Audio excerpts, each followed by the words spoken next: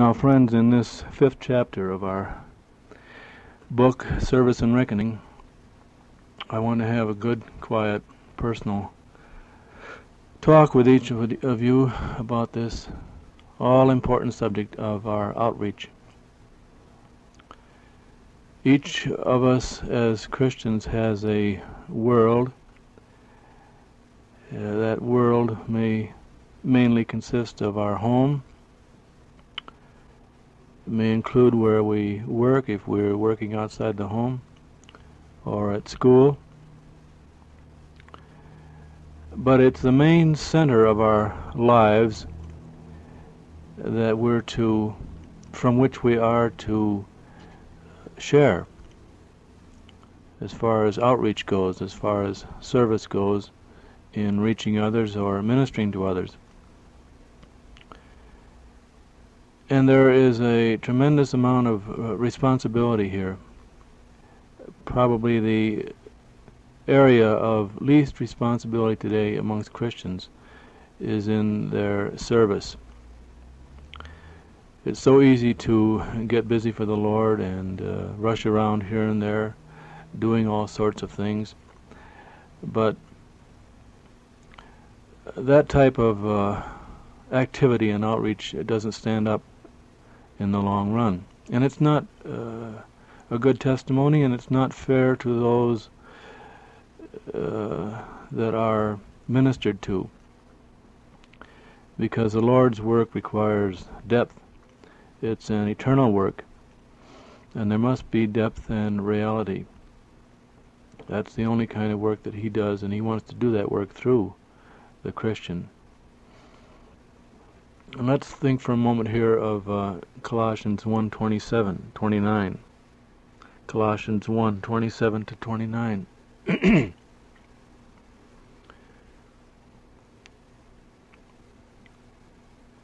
Lord is seeking to establish responsible, mature Christians, and those are the ones that He is free to use. And our responsibility as Christians is to allow Him to develop us and prepare us. His responsibility, of course, is to uh, do all the developing and, of course, in turn, to do the work through us. And we think here of our verses in Colossians 1 Christ in you, the hope of glory, whom we preach, warning every man and teaching every man in all wisdom, that we may present every man perfect or mature in Christ Jesus. For this I also labor, striving according to his working, which worketh in me mightily. Well, Paul is saying, as usual, he's saying an awful lot in these few brief words. And uh, the main thing that he says is that the Lord Jesus Christ in us is uh, the life of our service and it is uh, the Lord Jesus whom we share and minister, teaching. And uh, I like here where he says, teaching every man in all wisdom. As we grow in Christ and as we realize all that's involved in His uh, bringing us along as individuals, we learn what is required in bringing others along we learn that it isn't something that it can be done overnight. We learn that uh, the Lord doesn't use pressure. He uh, growth doesn't work on that basis at all. And we learn wisdom. We learn how to handle people. We learn how to care about them. We learn how to wait and be patient as they grow. And uh, the Lord wants our heart burden to be the same as His. We are to have the burden of the Holy Spirit for others. Uh, my little children, of whom I travail in birth again until Christ be formed in you. That our goal for each one that we're in contact with, whether it's the unsaved or the saved, our goal is that they might, in time, grow into the image of the Lord Jesus Christ, that He might be their life, that He might be their all. not just to see the unsaved become saved and let it go at that, uh, and have fellowship with our Christian friends. No, it's far much more than that. That our one burning, uh, deep heart desire uh, is that each one might grow in grace and in the knowledge of our Lord and Savior Jesus Christ. And Paul says that he, he labors and he strives, but it, all of it is according to the Lord Jesus working within him. He said, which worketh in me mightily. And our heart burdens must be from the Holy Spirit. And another factor here is that if we're going to share with others, if we're going to see others uh, become mature, uh, it must spring from what is real in our lives. It isn't that we don't make any outreach or don't attempt to win others at all while before we're mature, but that while we are growing, uh, most of our outreach will be uh, in the form of training. There'll be souls saved, there'll be Christians who are uh, helped, yes, but all of this will be mainly used of the Lord to teach us and to train us. It'll be interwoven in, into our uh, Christian growth.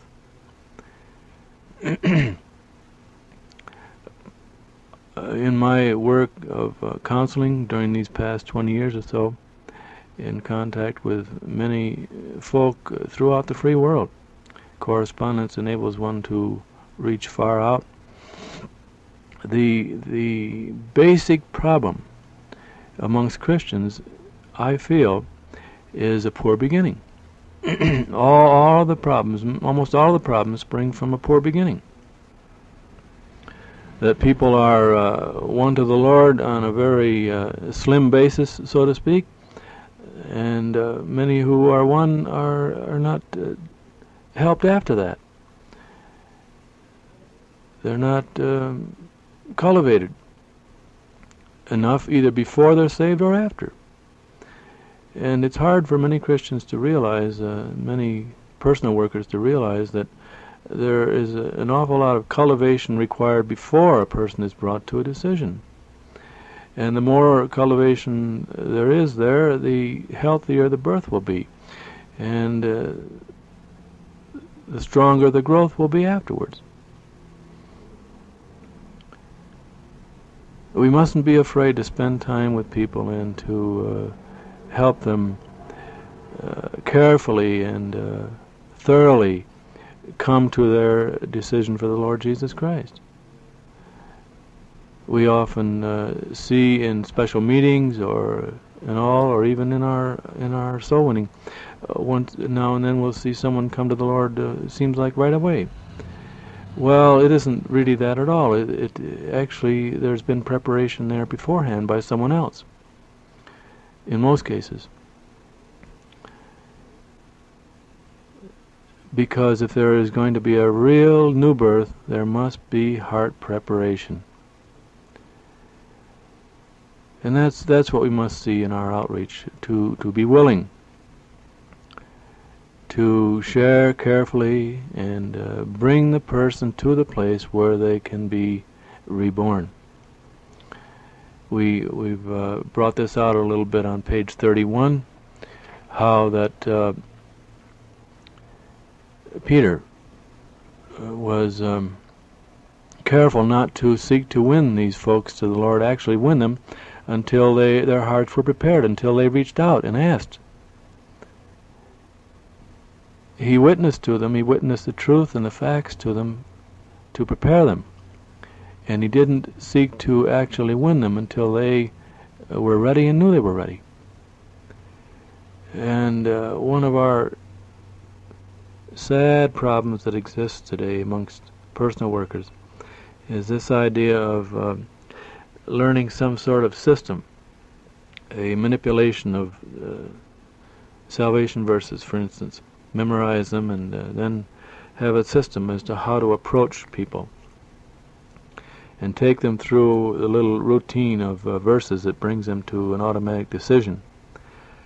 Uh, it's very easy and it's uh, seemingly quite effective but it is not the spiritual way to win people to the Lord Jesus Christ in such a way that they'll be have a healthy birth and have a good start, a good solid beginning in their Christian life. It isn't fair to people to bring them in uh, on the easy route, the simple route. There's too much involved. Uh, birth is only the beginning of a life for eternity. And that birth is important, and it, it should be a good, healthy birth. And that's that's the burden that I want to share with you in this chapter. The burden of responsibility, the responsible personal worker. And every Christian is a personal worker. Every Christian uh, should seek the Lord for a burden for others.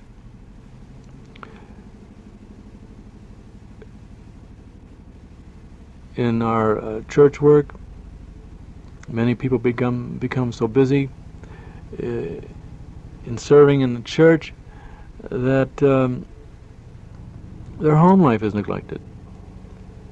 Many churches are so busy three and four nights a week that uh, it puts an awful burden on the home. It puts an awful burden on the children when the parents are so busy at the church and related areas. And I, I want to speak for a moment now to uh, mothers and wives mainly that it's so easy to uh, slap things together at home and rush off to some Bible meeting and uh, some church uh, activity, whether during the day or the evening. And uh, dad comes home from work and he's tired and hungry and uh, things aren't just right. That's not that's not a, a, a, good testimony. The Lord is not able to adequately honor that and work through that.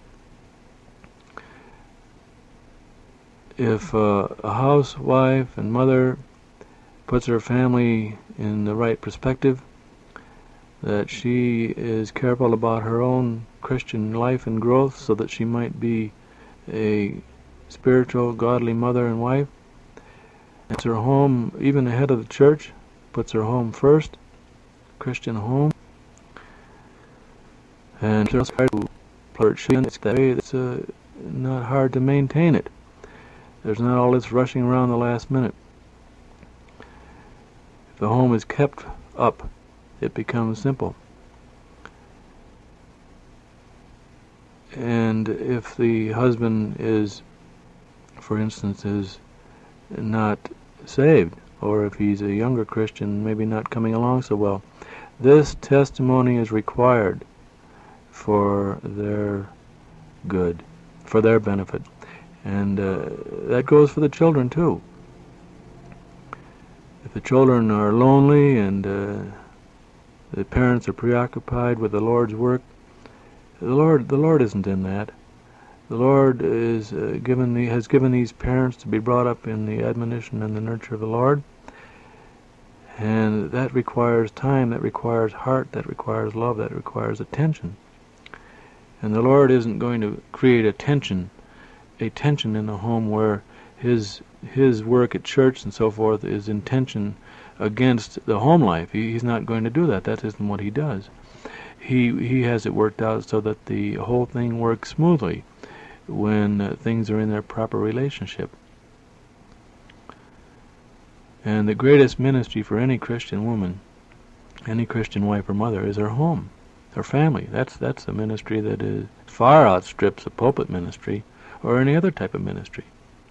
And that's the greatest lack we have in the in the in Christian circles today. The the Christian home has become weak and insipid and unspiritual. So my burden is to share with you this burden of uh, putting first things first.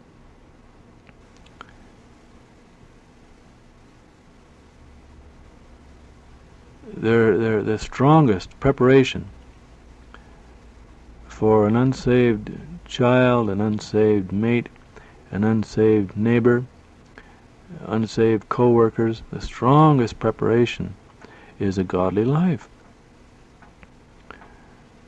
Where their hearts are prepared so that when something is said or when some uh, written material is shared, they'll be open to it. Responsible Christians are what are needed today. I remember before I was saved,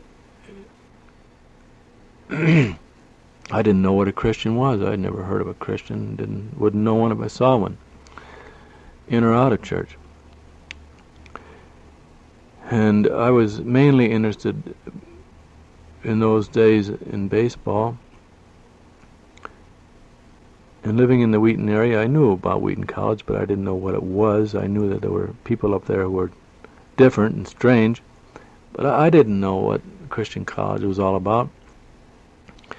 But it worked out. The Lord worked it out without my realizing that. Uh, realizing it that while I was in high school playing ball, once in a while the uh, high school team would go over to the college and uh, practice and uh, play practice games with the college team.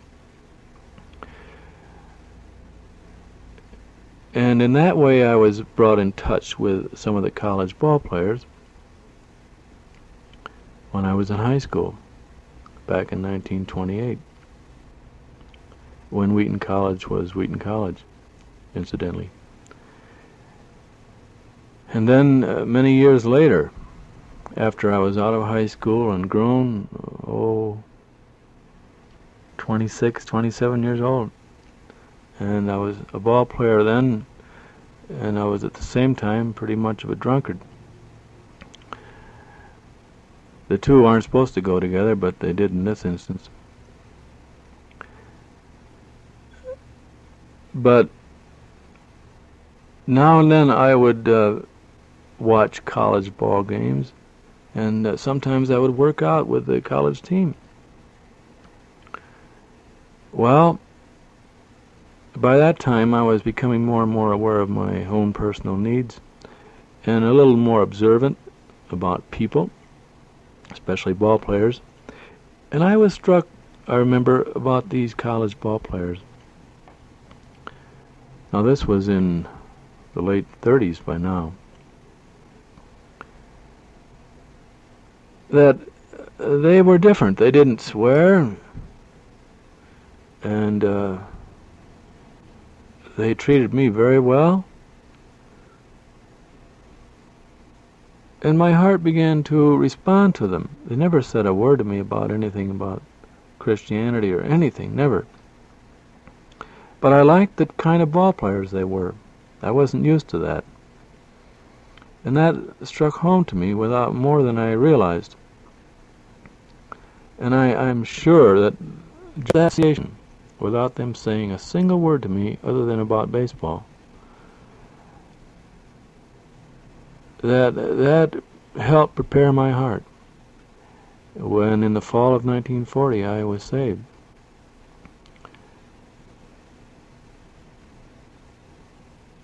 And we must uh, remember that.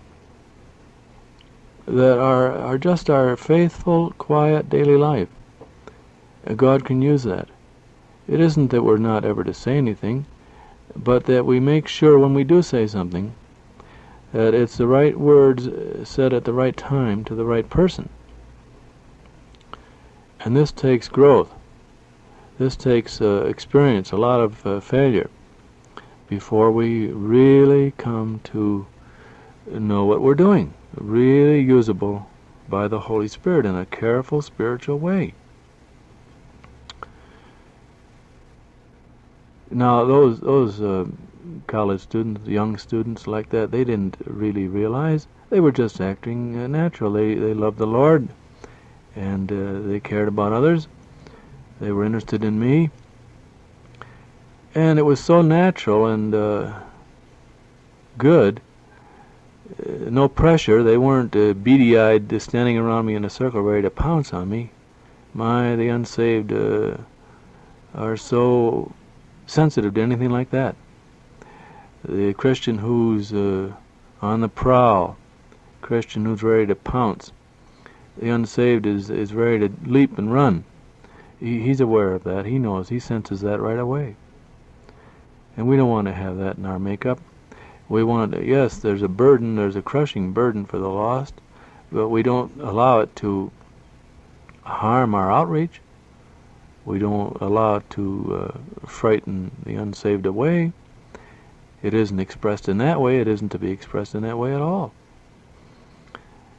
Well, what does this add up to? It adds up to growth.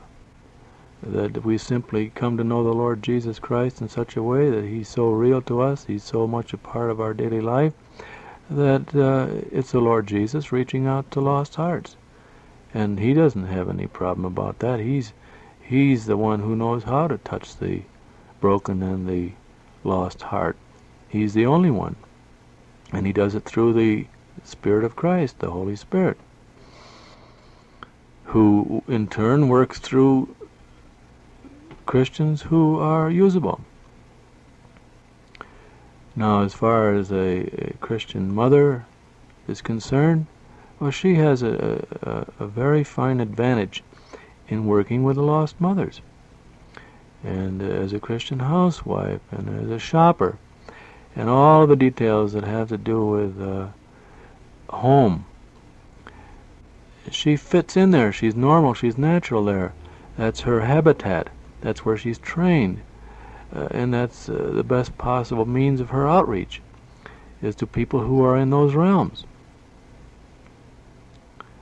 The secret of uh, effectiveness in any realm is to find your niche and take advantage of it. Find your niche and, and be normal and be free in it.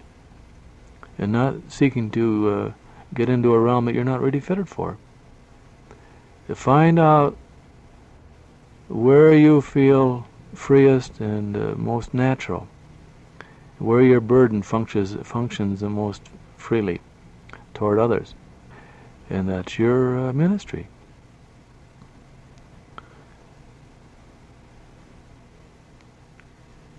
And of course, it may be relatively simple to bring someone to a decision that they become saved. But that's when the real work begins. That's when the real responsibility begins, is when you have a newborn babe on your hands. That's when the Christian's work really begins. His ministry really begins to function.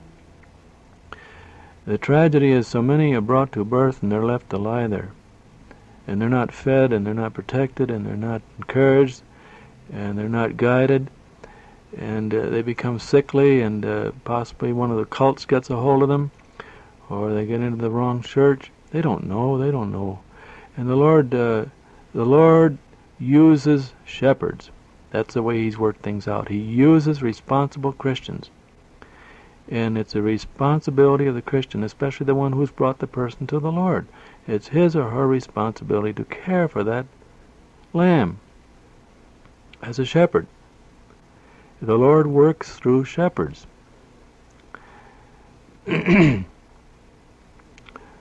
so that uh, our thinking and our uh, whole goal must be way far ahead when we're thinking about someone uh, coming to the Lord or someone who has just come to the Lord. We must be thinking way out in front that our goal for them is maturity in the Lord Jesus Christ. Whether they've come to the Lord as yet or whether they've just come to Him our thinking must be geared to that goal. And that'll have a tremendous effect upon how we handle the, these individuals, how we approach them, how carefully we cultivate them even before they're saved, getting them ready. Because we know that the, the healthier the birth, the more progress is going to be made in growth. And if we simply talk them into something and bring them to a decision uh, and then seek to have them grow, there's going to be uh, frustration, there's going to be failure all along the line because of the poor beginning. So for our own ministry, for our own peace of mind, for our own progress, we must make sure that we carefully prepare the individual before and after conversion. We might think for a moment of uh, 1 Timothy 4 6. Wonderful thought there. 1 Timothy 4 6. If thou put the brethren in remembrance of these things, thou shalt be a good minister of Jesus Christ, nourished up in the words of faith and of good doctrine, unto which thou hast, hast attained. Well, what's Paul saying here to Timothy? He's saying that um, if you are nourished up in the words of faith and of good doctrine, and if you're growing, then you'll be a good minister of the Lord in uh, putting others in remembrance of these things. But you can best share with others that which is real in our own lives. It's, it's the same in any realm. How are you going to teach a young girl how to make a pie if you don't know how to make one yourself? How are you going to uh,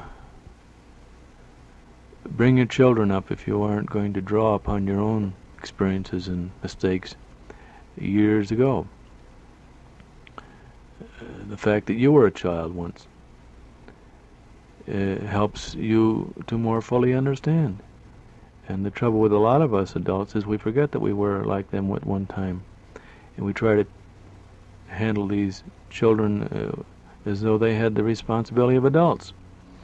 We forget, even the teenagers, we forget that uh, once we were teenagers, and that um, we probably didn't do as well as they're doing today. So that God takes us through things and uh, trains us so that we in turn can adequately train others. If thou put the brethren in remembrance of these things, thou shalt be a good minister of Jesus Christ, nourished up in the words of faith and of good doctrine, unto which thou hast attained.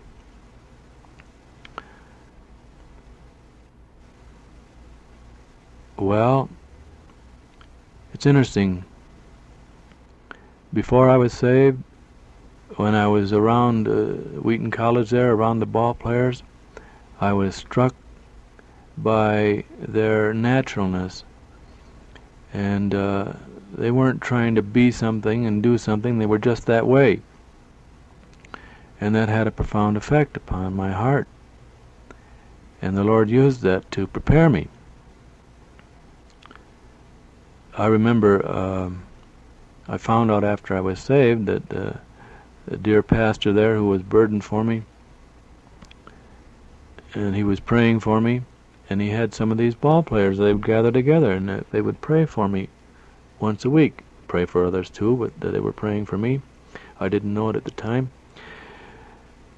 But I was going through a very difficult time then, and I was uh, drunk pretty much of the time, all during that summer of 1940. And these fellows, they were those who lived in the Wheaton area and they were around all summer. And they were watching me around. And I remember uh, the pastor told me later that they came to him and complained. They said, well, the more we pray for him, the worse he gets. What's the use? And they wanted to give up. But they didn't. And then in September when I was saved, all alone in my room, and I called the pastor and let him know, and he in turn let these boys know. Well, you can imagine the joy in their hearts that they hadn't given up, that they kept on praying, depending upon the Lord. Well, we'll speak a little about prayer later on here, intercession. But the point for now is that they were normal, natural, young Christian boys, young men. And just because of that fact, and that they prayed from their hearts and trusted the Lord, even though their faith was uh, strained at times because they went by sight Yet the Lord held them to the work at hand, and they continued to intercede. And the Lord saved me when they didn't even know it. Saved me all alone in my room. I didn't even know John 3:16, and no one was there except the Lord Himself. And I was born again. Well, I remember I was so afraid of church people, and uh, this pastor wasn't able to get me to go to church for almost a year after I was saved, even though I was definitely born again and loved the Lord, studied my Bible every day, eight and ten hours a day. I still was afraid to go to church because of all my background, because of all my uh, what I'd gone through. He could not get me to go to church.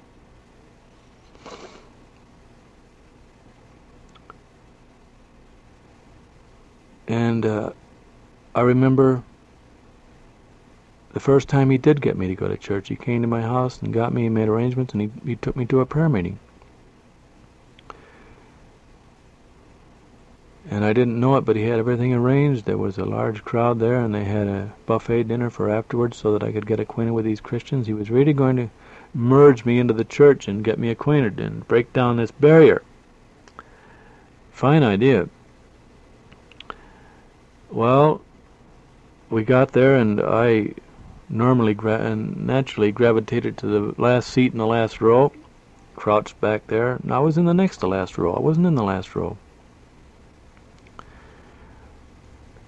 I would have been if there had been any empty seats.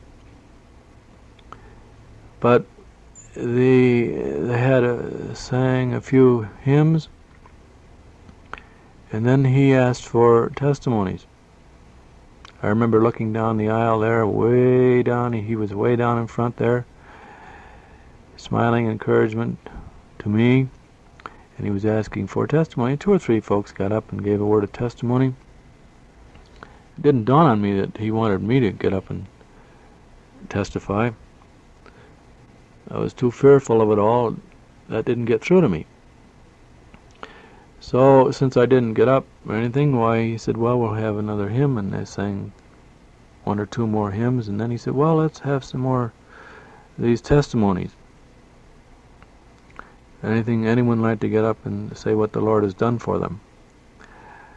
Well, then it dawned on me that uh, here was my opportunity to, uh, to share the wonderful things the Lord had done for me and how precious He was to me. So I completely forgot myself and I stood up. And I shared how the Lord had saved me almost a year before. My hunger for the Word, what a good time I was having in the Word. And that um, I asked them to pray for me that I might grow. Well, when I sat down, someone stood up behind me in the last row, and he broke down in tears and he was confessing to the group that he had been in high school with me years and years before as a Christian. He was a Christian in high school. But they had never, never said anything to me. And I was quite one of the wild ones in high school. I don't know how I ever graduated, but he never had uh, witness to me or anything. And he said at that time his life wasn't a testimony of itself, really. So he, he completely broke down and he, he rushed out of the meeting and, and went home. If I were to tell you his name, many of you would know of him today, 25 years later. But that was very touching, and here it was a confession that. Um, and then I, as I later on, as I got into church and uh, got to know a lot of the folks, I kept running across old high school mates, fellas I'd been on the football team with, the baseball team, and girls that I knew in class, and here they were in this church and in the other Wheaton churches. Uh, and uh, I, I would ask them, well, uh, were you a Christian back in high school? And many of them say, yes, I was saved very early in life. And I often ask them, well, how come I didn't know about that? How come you didn't say anything to me then? Well, of course, they didn't have much to say, and they were young then, and young in the Lord. But even so, I couldn't understand that at the time. And then uh, something else. That as the next uh, few years went by, a couple of years, it was after the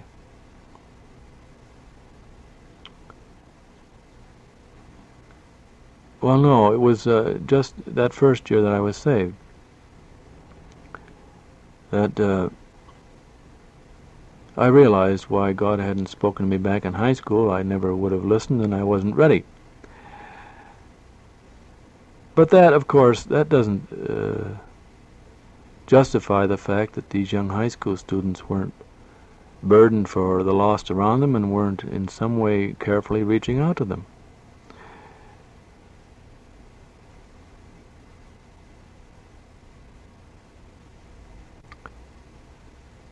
But it's interesting about the Wheaton area. When I came back from the army, having been a Christian by that time uh, five years, very hungry to grow and uh, burden for other Christians, and I stayed home in the Wheaton area for a year after I got out of the service, and I, I noticed uh, I noticed quite a change, and I think the war had a lot to do with this. But I noticed that the uh, the campus was different. And let's not forget that I was looking at it through different eyes now, as a Christian, and as a Christian who was burdened for others to grow. And I saw the whole Wheaton area in different in a different uh, light.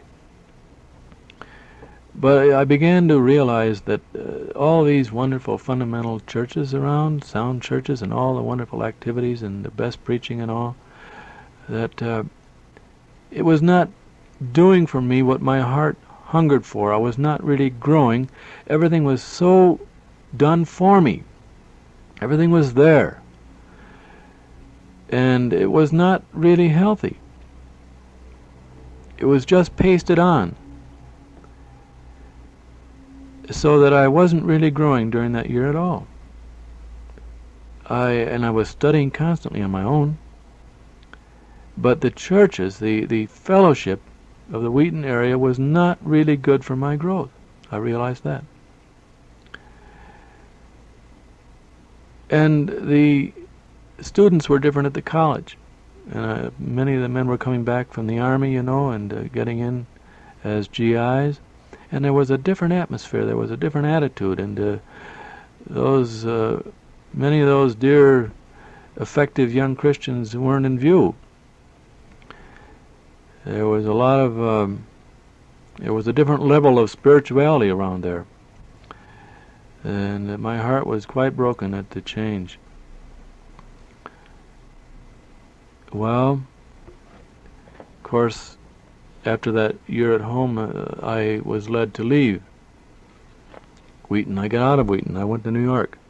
I wanted to be alone with the Lord. I wanted to work these things out and uh, study as the Lord led me, and uh,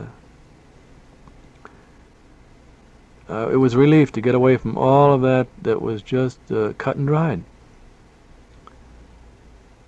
So that um, in time in the New York area, after I was married, oh, five or six years after leaving Wheaton, we began to hold home meetings for hungry Christians. And uh, our first group that we had, the Lord, first group the Lord gave us, we would meet in a, an apartment. If I remember rightly, now it was once a month. And this group uh, were about 30 Christian leaders. Most of them were Christian workers, Christian leaders. But all of them had come to the place where they were failing in their Christian outreach. And their converts and those that they'd won to the Lord were, were not seeming to hold up. They were having trouble with them. There was, wasn't the life and the growth there. And they were all burdened and uh, they were all had been blaming those that they were dealing with, uh, that they weren't responding. But they had all come pretty much to the place where they began to realize that uh, they were the ones. They hadn't been growing and they weren't effective. The Lord wasn't able to use them. And it seemed to be the same heart burden for all of these folk that, that, that had the Lord drew together in this little meeting from all over the New York area. and there were about, oh, I think about 30 that would come on Friday night. I can't remember if it was once a, month. It might have been twice a month. But we met for three years. And we used the uh, large Paxson book, Life on the Highest Plane by Ruth Paxson as our textbook. Because the need for these individuals was personal growth, that the Lord could effectively use them. And we had a wonderful time. We would uh, take a chapter, a meeting, and uh, we would assign different one each time to take this book home and study it, and come back and uh, read the best part of the chapter, the main part of each chapter, read paragraph by paragraph. Read a paragraph and stop, and we discuss it. And it was a discussion meeting centered upon this chapter. And my, my job in the meeting was to hold the conversation and discussion to the subject and to answer any questions that I could answer that would be asked. Very open and very healthy meeting.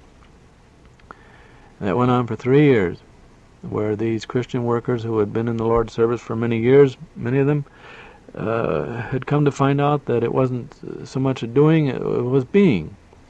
And their own personal responsibility of growth would begin to really uh, produce the fruit of their lives, the fruit of the Spirit in their lives would produce fruit in other lives, and there would be a ministry that would stand up, ministry that the Lord could use. And that was the beginning of our of our home meetings. My, we learned a lot in those three years, as you can imagine. And I certainly would like to have tapes of those meetings. But of course, we probably wouldn't be able to publish the tapes or share them because these groups, as they stay together for three years, and most of them are married folk, couples, we get into some uh, subjects. Each one of the group gets to know the others, and there's openness. And we get into things about marriage and the home and all that has a great deal to do with our service, as you know. So that we really couldn't share these things on tape. Very personal meetings. Very wonderful. But anyway,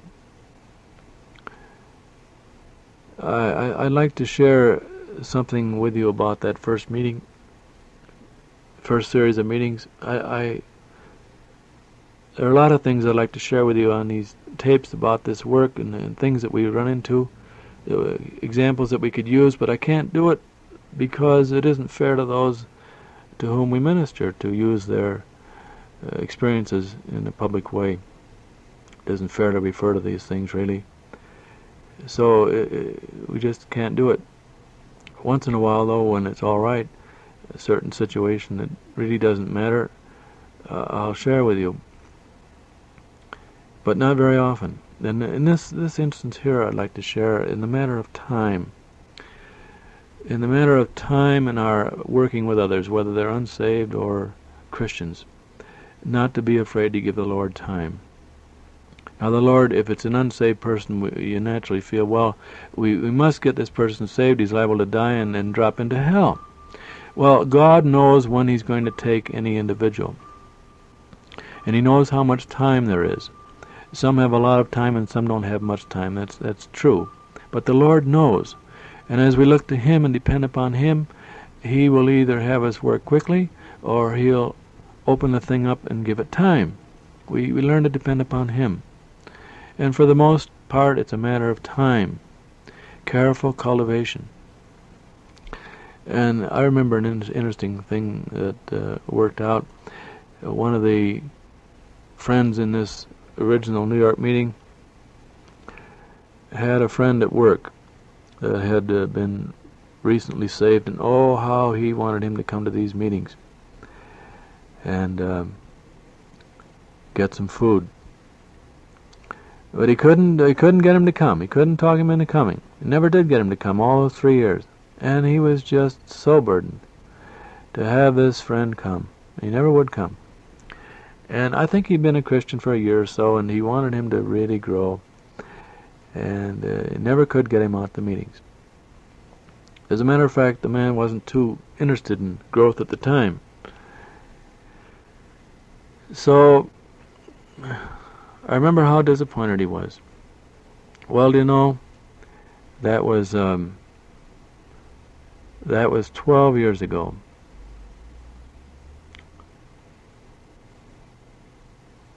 That was 14 years ago. And just this last year, out here in Colorado Springs, this man that our brother was so burdened for, I found him right in my own church here, right in our own church here. He uh, is one of the leaders, and within the last few months, someone has given him a copy of the Green Letters, our little book on growth, and he's been studying that. And within the past few months, he told me recently, he said, "Brother, I've been a Christian for over 16 years,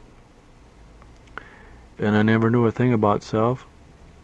Never heard of uh, identification, really, and uh, never have been really burdened enough to grow. Been active for the Lord all these years, up and down. But he said, now I, have come to realize through these letters uh, the facts about growth, and I've, I've, I've discovered this wonderful subject of identif our identification with the Lord Jesus Christ. And he said, actually, my favorite chapter in the Green Letters is the chapter on self. Well, our friend in New York has no doubt been praying for this brother all these years. And uh, we just give the Lord time. He work it out better than we ever could. So that it was a joy to contact our friend back there and uh, share with him how the Lord has been working, how the Lord has been answering his prayer. And as long as we're talking along these lines of time, a dear pastor and his wife came here last Sunday afternoon, last Lord's Day afternoon, and someone had given him a copy of the Green Letters, and they shared with us. They were from out of town, and they shared with us the fact that um, way back in Bible school, years and years ago, when they were both students, the founder of the school was a man who shared the identification truths in his classroom. And they remember these truths. But yet the the way the school was run and uh, all there was so so much law and self-effort that they were held down by that becoming involved in it that uh, the identification truths didn't really mean anything to them and they, they didn't get any benefit from them. And uh, all through these years of ministry, churches here and churches there, it's only uh, recently, within the last few months, I've been studying these little green letters.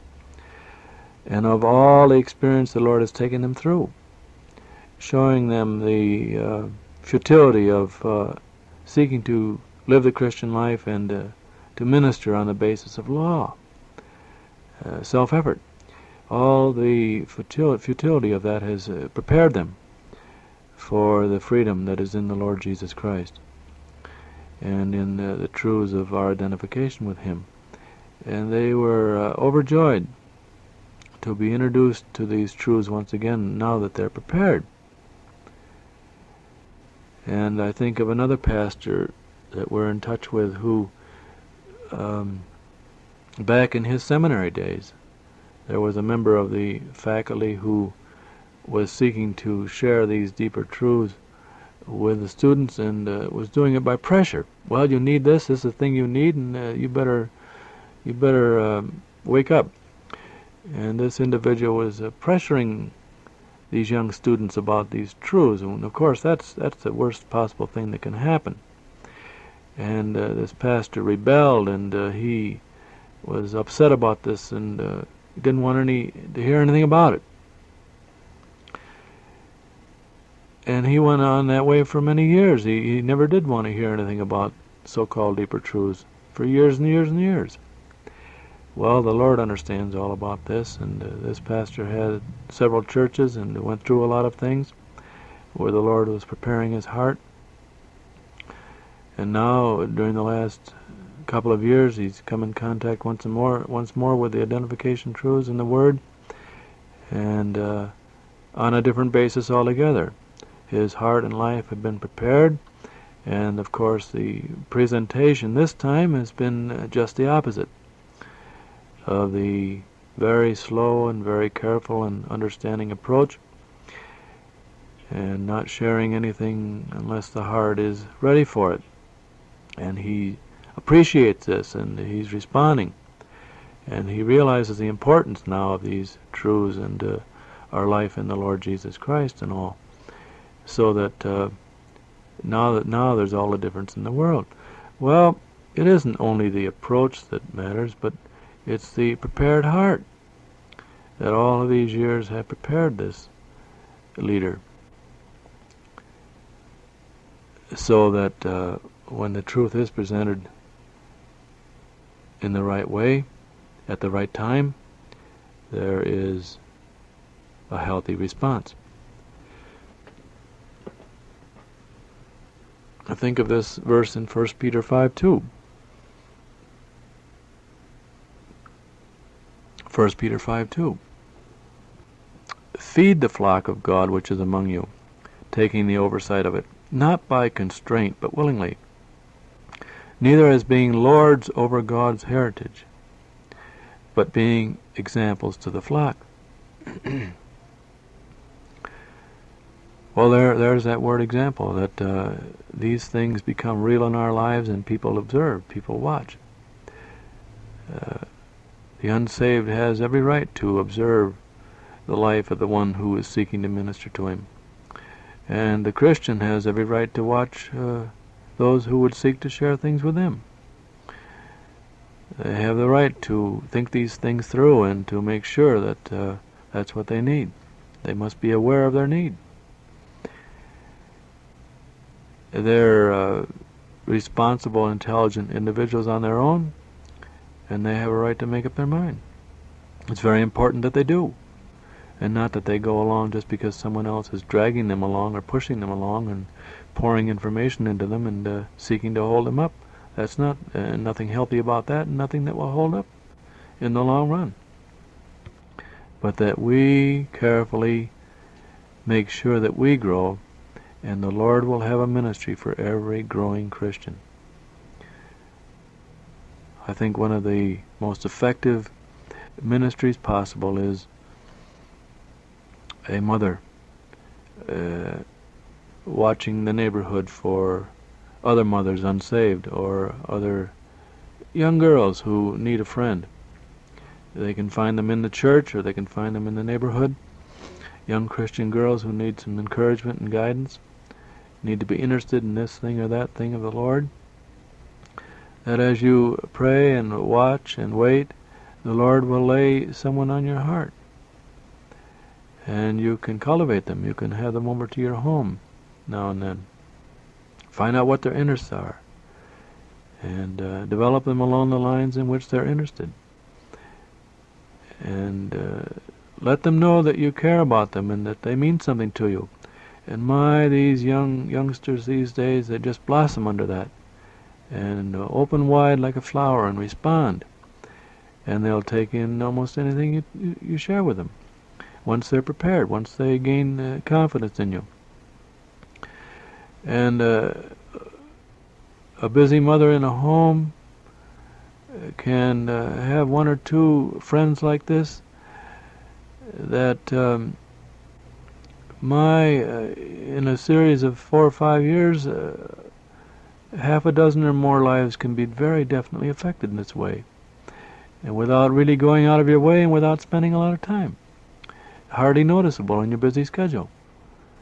But oh, that personal, quiet, careful, prayerful, burdened outreach. Natural, normal, nothing out of the way, right? Finding out what the individual's interests are and fitting right into that. Not uh, pushing them or pulling them over into what you want them to see or have, but fitting into their thinking so that they'll be at home and open. Oh, there's a wonderful cultivation ministry there. either with the lost or with young Christians. I think that um, I know there are many of you who have uh, Sunday school classes or little Bible studies maybe in your home, or maybe you want one. Well, if you have one, or if you're thinking of having one, or if the Lord gives you one in the near future, or whatever, uh, my one plea would be this. See to it that you share food, not just information. Uh, most people that you probably be in touch with are in church, or going to church, and they're going to get the overall teaching of the Word year in, year out by sitting under the pastor's ministry. He goes right through the Word often, and, and they get the overall teaching along with their own study. But your burden should be the underlying food for growth that is so effectively shared in a small group of hungry hearts. Sharing the Lord Jesus Christ, sharing the truths that have to do with growth. Uh, so many dear friends, uh, dear folk, are teaching uh, the book of Revelation. They're teaching Jeremiah. They're going through the Old Testament. And my, fine as that is, the thing is to concentrate upon the truths that have to do with that person's everyday life, that they might grow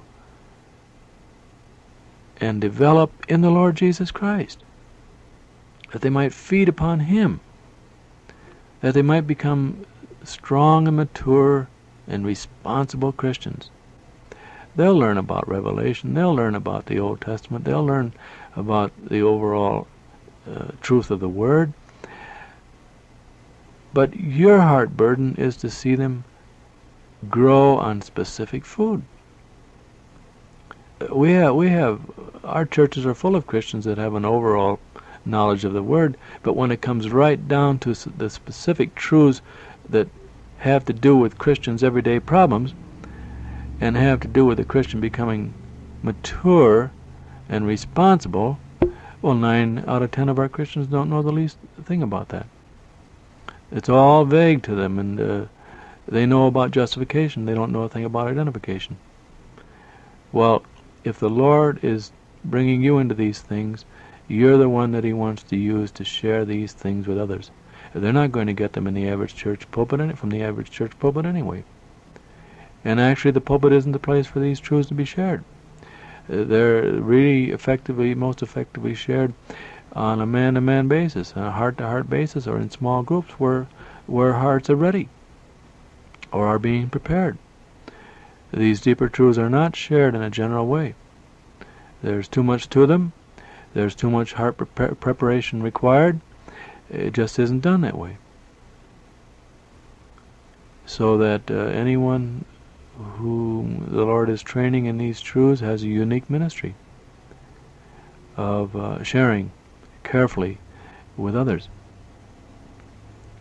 I think of a uh, classic, an old classic book that's still in print. It's called Every Member Evangelism. It's by J.E. Conant. If you want to jot that down, if you don't know the book, Every Member Evangelism by J.E. Conant. C-O-N-A-N-T. It's published by Harper, Harper and Brothers. You can get it at your bookstore. If they don't have it, they can order it from Harper's for you.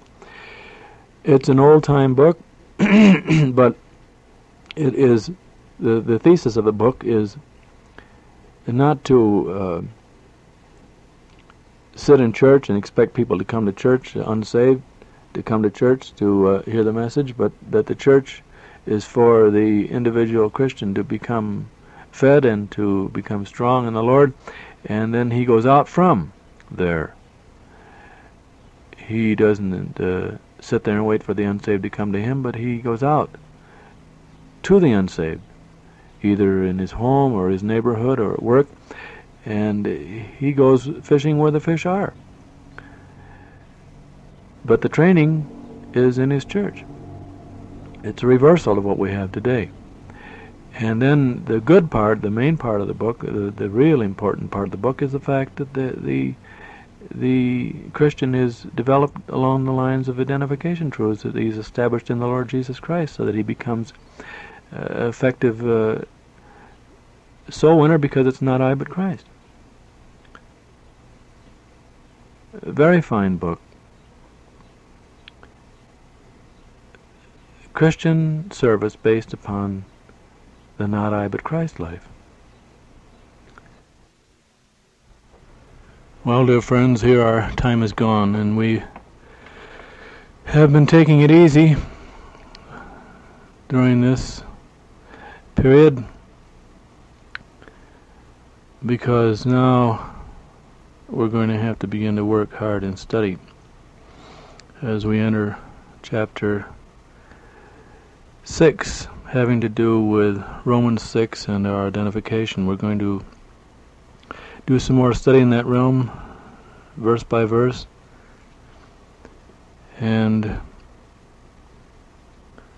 realm, verse by verse. And take a very close look at what Paul is saying here about our relationship to the Lord Jesus and how it is to affect our daily life. Our Father, we thank Thee for every opportunity that Thou dost give us to touch other lives, to be channels for Thee to reach out and draw hearts to Thyself, to be nothing that Thou mayest be everything.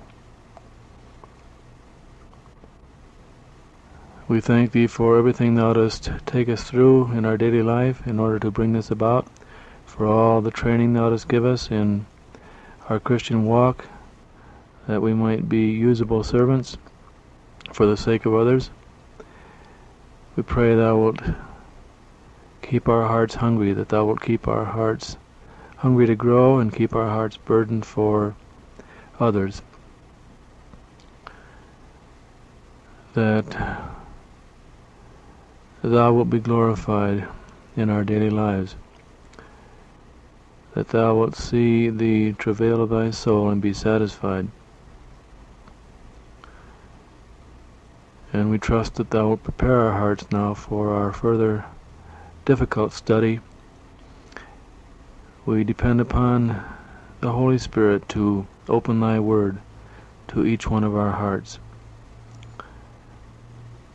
And we thank thee for the privilege of seeing and learning